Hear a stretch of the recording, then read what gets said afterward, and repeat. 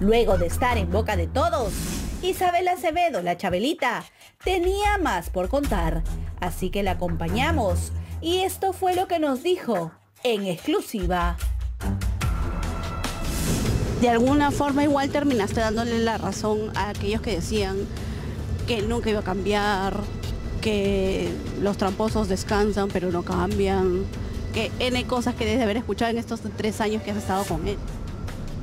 Sí, pues todo el mundo me podía decir, mi mamá, mi familia, ¿por qué no darle la oportunidad? Y yo decidí dársela a él. De repente no lo supo valorar o de repente quería estar con otra persona. Lo mejor hubiera, hubiera sido que él me hubiera dicho, ¿no? Dijiste, hace un mes yo empecé a notar señales. Señales como que poco de distanciamiento.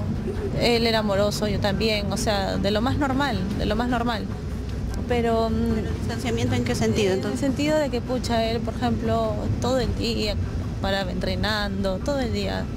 El gimnasio era su prioridad. Ahora, ¿ustedes entrenaban antes en un gimnasio en San Borja? Pues pobrecita, cuando te vuelvan a ver vas a parecer un tractor.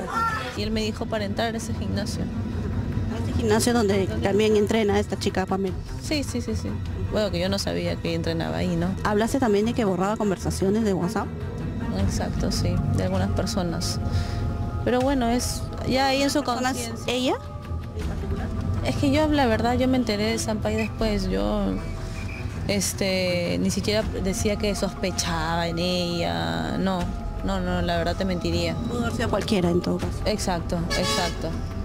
Este, él borraba. Hubo otras personas. Borraba, o sea, borraba las conversaciones con chicas y todo eso estando contigo igual tenía conversaciones con chicas y eso, y eso era una causa de, pelea, discusiones entre ustedes. También eso fue uno de los motivos, exacto. ¿Tú le descubrías muy seguido las mentiras?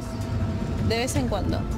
Tú sabes, cuando una mujer a veces siente y quiere buscar, a veces se encuentra. Y yo por eso prefería no, no ver, no, no, para no, porque quería estar tranquila, eso también. Tú dijiste, yo tengo pruebas. Esas pruebas podrían ser físicas, podría ser una llamada telefónica, podría ser una conversación de WhatsApp, una fotografía. Eh, ese tema no, todavía no quiero decirlo, pero sí tengo una prueba. Eh, sobre un reloj que tú has encontrado en su departamento.